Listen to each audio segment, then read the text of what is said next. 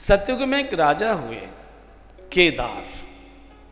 बड़े धर्मात्मा, बड़े पुण्यात्मा, इन्होंने सौ अश्वमेघ यज्ञ किए।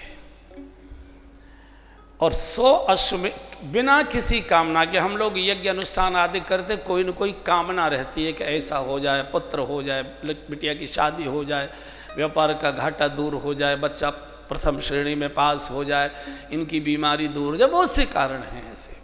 कई तो करते हैं कि पड़ोसी का सत्यानाश हो जाए, बहुत से कारण होते हैं जो भी कुछ कम करते हैं। तो केदार महाराज ने सौ अश्वमेघ यज्ञ, और शास्त्र में वर्णन है कि जो सौ अश्वमेघ यज्ञ पूर्ण कर लेता है, उसको इंद्र का पद मिलता है। तो केदार महाराज ने बिना किसी फलाकांक्षा के सौ अश्वमेघ यज्ञ पूरे किए। इंद्र का पद आ गया सोने की थाली में। इंद्र का पद भेंट होने को आ गया। बोले, नहीं, मुझे इंद्र नहीं बनना है, मुझे भगवत प्राप्ति करनी है। और यहाँ से यज्ञ पूरे करके हिमालय के गुफा में चले गए।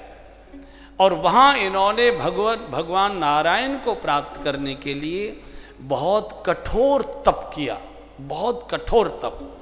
एक दिन भगवान नारायण प्रकट हुए केदार तुम्हारे भजन से तप से मैं प्रसन्न हूँ। चलो मेरे साथ। और भगवान के साथ वो श्री कृष्ण के बैकुंठ धाम गोलोक पहुँच गए। तो जिस स्थान पर केदार राजा ने तप किया था हिमालय पर, वो स्थान केदारनाथ के नाम से प्रसिद्ध हुआ है। वो केदारनाथ हैं और ये स्थान भगवान शिव को बहुत प्रिय लगा। तो भगवान अपने पार्श्व से केदारनाथ में प्रकट हुए और वही केदारनाथ भगवान की रास लीला का दर्शन करने की इच्छा रखते थे। भगवान श्री कृष्ण ने उन्हीं केदारनाथ को ब्रज के केदारनाथ के रूप में बुलाया। वो स्थापित है, आप में से गए हैं, आपने देखा है कि आज भी जिस पहाड़ी पर केदारनाथ का मंदिर है ऊपर, वो पहाड़ियाँ सफ़ेद हैं एकदम। पहाड़ियाँ सफ़ेद सिला हैं।